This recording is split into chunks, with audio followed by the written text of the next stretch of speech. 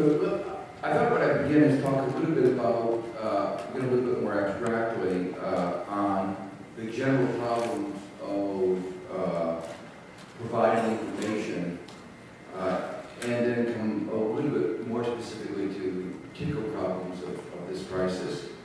Uh, the distinctive aspect of information of the kind that Anya was mentioning is that it's, you, you call it, economists call it a public good. Everybody benefits if there's good information, just like everybody benefits from good government. But because everybody benefits, nobody has an incentive to supply it. So there is inevitably an undersupply of public goods. And so this in a way is the fundamental problem of, uh, of getting a supply of disinterested good information about uh, our economy, our society, about anything. There are strong private incentives for distorted information. So there are strong incentives, if you have a political agenda to get information out about why it is that the stimulus is not going to work, even if it's not true. Uh, advertisers have an incentive to get out information about why, uh, you know, taking out a 30% interest rate mortgage is a good idea, and you will enjoy it. Uh, so uh, you have a lot of private incentives for distorted information, but not enough incentives on the other side to get the kind of information that is essential for making society function. The particular business model, if you want to call it that, that we've used for the most part in the United States is a, you might call it an accidental model. It's one where information is supplied as a byproduct of advertising. So you deliver a newspaper, the model of the newspaper, for the most part, not all of them, but for the most part, the newspapers survive economically by selling advertising. But people read the advertising in part because there are all these other news. But obviously, with that business model, there's a problem. If you're supplying information and it's being financed by advertisers, you have to be a little bit tame to the advertisers. You have to be, say, sensitive to their concerns. So if the uh, if if one of your major advertisers are the banks, you're not likely to say that the banks are engaged in corruption and, and exploitation and, and, all those things. And so, in a way, the basic business model of, of news delivery in the United States for a very long time was uh, inherently biased. Uh, the um, it's different in different countries. I mean, it, it is interesting that in some countries, the parties, each of the major political parties, have their own newspapers. That has its own problem because then each of the newspapers is biased in their own way, but at least you get an array of biases. Uh, but uh, uh, but nobody, in that context, nobody really takes anything as as as truthful or honest. It's just what is the particular agenda that they're they're uh, pursuing. There's another problem, uh, though, for, for most media. Uh, they're competitive, but being competitive means that you succeed by access, to access to stories. And who has the information? Well, typically, if you start thinking about what are the, who, who has the information, people usually who have information have an incentive for you to have tell their story in a particular way. So access to information that would allow you to break a story to be on the forefront requires a trade. Economists think that you know everything is involved in exchange. And the particular exchange is they give you information in return for you giving them correct coverage. And so the, the, the way that news gets transmitted from those who have information to the general public is almost inherently biased. I saw that very strongly in, when I was, was in Washington. Um, I could tell uh, when I you know, read a story about, say, a cabinet meeting or something, who would leak the story. Uh, you could tell at first because you read the story, you knew whose side they were explaining. Uh, and, and, you know, we have some argument and, and, and, and there, there would be uh, alternative views, and one view would get predominance over another. They, would try to give a balance, a little bit of balance. One story would be on the on the 14th page, the other one would be on the first page. Uh, but they would then say, well, we gave both views. Uh, but then you start looking, if you follow this uh, you then begin to understand that some reporters are owned by certain people in the administration. Uh, they wouldn't call it that, but that's really a more accurate description of what was going on. And this is true in almost most of the media, very true in the New York Times. I saw very, very clearly that, that there were certain reporters uh, that you knew who they were talking to all the time. And then if you have any doubts about this, what we call uh, exchange, you would see episodically a, um, puff piece, we call them, uh, telling, glorifying the hero of the leaker.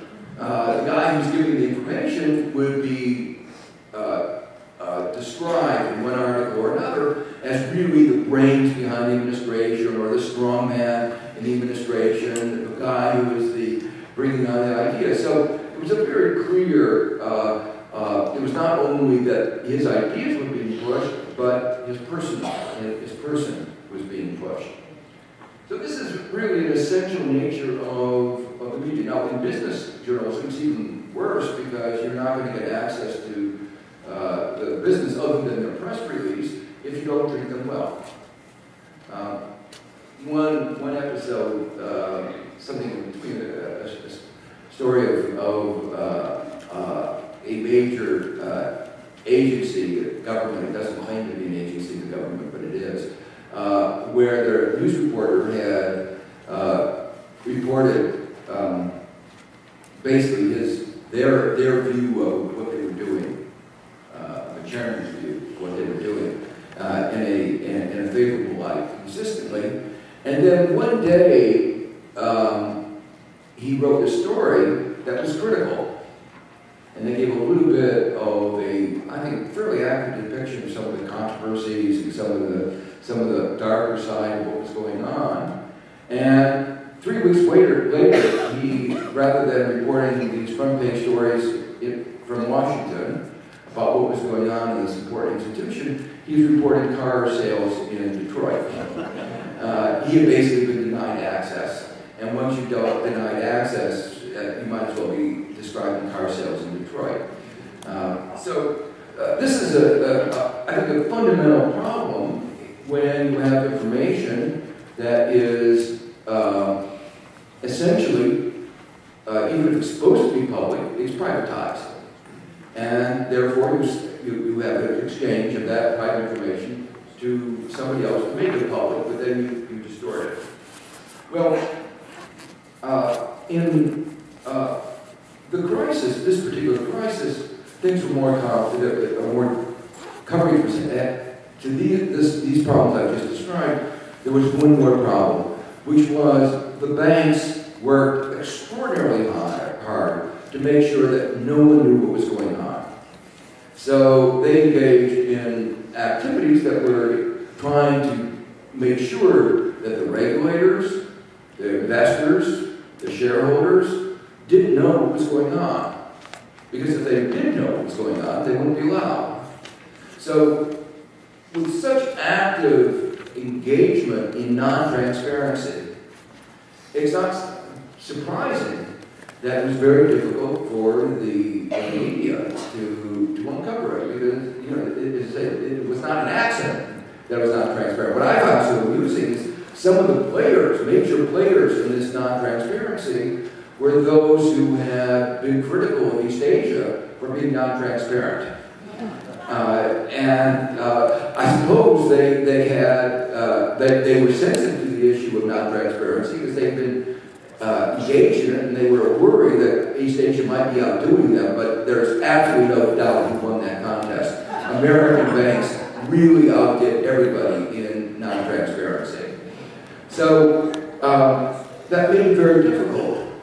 And there were a few reporters, I'm, glad you mentioned Mark Pittman, because he was one of the reporters who uh, really did the forensic accounting, you know, took, a, took, took the attitude that there's something funny going on here, used every tool, including the Freedom of Information Act. And some of the things, he died about a year ago, and it's so interesting. Some of the Freedom of Information Act requests are just now coming out of things that he requested.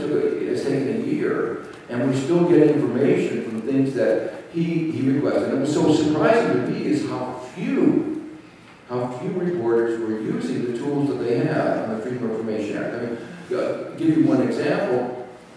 Uh, the uh, role of the Fed in um, uh, the bailout of AIG and where the money went. Uh, Bernanke uh, did not want anybody to know. Uh, you know, they always are going to claim, like everybody in that context, state secret. You know, it will lead to the end of the world as we know it that people do. But of course, we know why they don't want us to know. Because it turned out that the largest recipient was Goldman Sachs of the AIG money, and the second largest recipient, and the third, I think maybe even the fourth, were foreign banks. And the notion that the U.S. Federal Reserve was using its money, effectively our taxpayer money, to bail out foreign banks might have had a political reaction.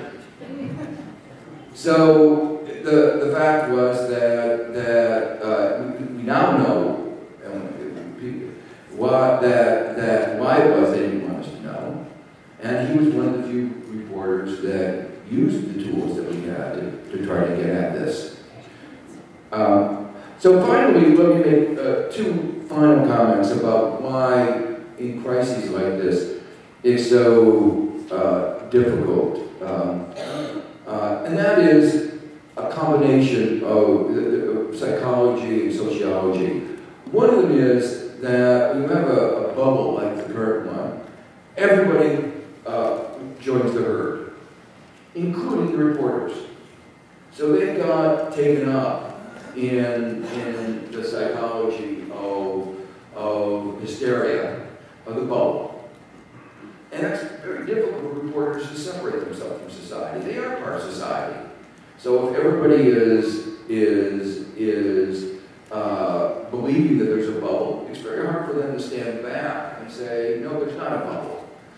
And so one of the important roles of the press should always be one of a skeptic. And, and, I say, and that's always difficult.